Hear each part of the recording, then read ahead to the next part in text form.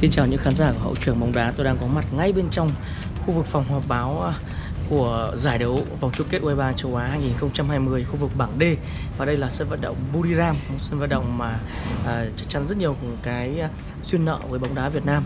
À, các bạn có thể nhìn kỹ một chút hôm nay tôi muốn giới thiệu các bạn một chút là phòng họp báo à, rất là cơ bản quen thuộc. Và đây có dòng chữ AFC U23 Championship một thông tin nữa cũng muốn chia sẻ cho các bạn của hậu trường bóng đá lúc này trên tay tôi đang à, là danh sách của thi đấu của trận đấu giữa đội bóng các tiểu vương quốc Ả Rập thống nhất và Cộng hòa Dân chủ Nhân dân Triều Tiên. Ở đây có tiền đạo số 9 Ali Saleh là một trong những cầu thủ đã gây rất nhiều khó khăn cho U23 Việt Nam trong trận đấu à, chúng ta phải đối mặt và các bạn vẫn còn nhớ rằng chính Ali Saleh là một người đã khiến cho Bùi Hoàng Việt Anh cũng như Huỳnh Tấn Sinh đã không ít nhiều phải à, khốn đốn ờ, ở cái khu vực ờ, tấn công của mình. Nhưng đây không phải là điều thực sự mình muốn ờ, chia sẻ trong clip này. Mình muốn chia sẻ các bạn một điều vô cùng quan trọng ngay bên trong phòng họp báo. Các bạn cùng điều thôi.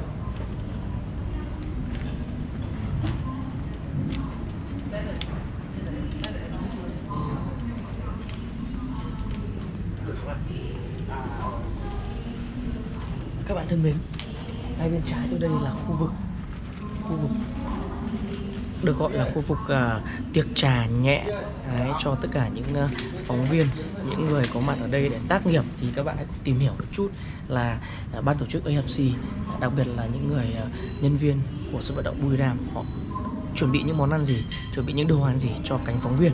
Rồi đầu tiên là chúng ta cùng quan sát đây là một chiếc bánh ngọt. Đấy, rất quen thuộc đúng không ạ? Bánh ngọt có pizza roll pepperoni chicken sausage roll coffee and tea. Đấy, ba loại rất cơ bản. Đây là loại bánh. Đây là loại gọi là được gọi là pizza roll pepperoni. Đấy, có cả nước chấm. Đấy, chúng ta có thể dùng đĩa. Chúng ta lấy chúng ta ăn rất nhiều đúng không ạ? Các bạn nhìn kỹ đi ạ trong đây. Rất đẹp. Còn đây là à, nơi để lấy trà. Ok mình sẽ xin một tách trà. Ok give me one uh, tea. Yes.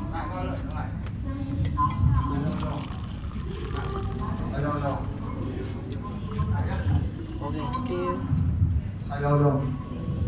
Đấy, rất, rất dễ dàng để lấy một chào bánh của các bạn đi thôi. Đấy, còn đây thì là khu vực à, làm việc của anh em phóng viên các bạn có thể thấy ở đây thì có rất nhiều những cái bàn Đấy, thiết bị uh, làm việc anh em sẽ để gần những cái ổ cắm ở đây. Ban tổ chức cũng chuẩn bị rất là kỹ. Đấy, ở, ở khu vực bên này thì chúng ta có những chiếc tivi để các phóng viên nếu không ra sân trực tiếp để theo dõi thì chúng ta còn có thể ở đây xem. Đấy, thưởng thức trận đấu qua tivi qua màn ảnh để cập nhật những kết quả những diễn biến của trận đấu. Đây có chiếc máy in nữa để phóng viên có thể à, đấy, copy document khu vực à, để photocopy để để các phóng viên có thể là ghi nhấn một điều gì đó. Các bạn đi thôi vẫn chưa hết các bạn ạ.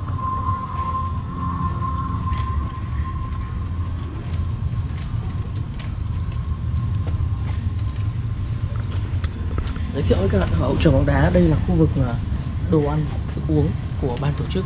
Họ chuẩn bị cho những cái khung giờ liên quan đến các trận đấu buổi tối. Ví dụ như ờ, hôm nay cái ờ, đội tuyển u hai Việt Nam của chúng ta sẽ thi đấu với ờ, Jordan vào khung giờ 8 giờ 15 đó là khung giờ mà chắc chắn là nếu những ai tác nghiệp trong trận đấu giữa Cộng hòa Dân chủ Nhân dân Triều Tiên và uh, uh, các tiểu vương quốc Ả Rập thống nhất thì sau khi kết thúc trận đấu đó chắc chắn là sẽ một khoảng thời gian cũng uh, đúng vào giờ ăn tối và khá đói thì ban tổ chức đã chuẩn bị rất sẵn. Đương nhiên trong đây sẽ là những đồ ăn mà có lẽ ở đây thì đang chưa có. Đấy, họ sẽ mang vào đây mà thôi. Họ sẽ mang vào đây vào đúng cái khung giờ mà à, à, cách phóng viên khi đói sẽ vào đây ăn đấy các bạn hãy cùng nhìn lại một cảnh toàn. À, tóm lại à, mình nghĩ rằng là à, một vài điều à, mà Thái Lan chuẩn bị chưa tốt ví dụ như âm thanh các thứ thì cũng đã là những cái thứ chúng ta có thể cố gắng chấp nhận được nhưng phần còn lại mình nghĩ rằng ban tổ chức cũng đã thực sự chuẩn bị khá kỹ càng và khá tốt. Hy vọng là những uh, chiếc bánh ngọt những cái ấm trà thanh uh, cốc trà sẽ giúp cho các phóng viên Việt Nam tác nghiệp thật tốt trong giải đấu vòng chung kết U23 châu Á 2020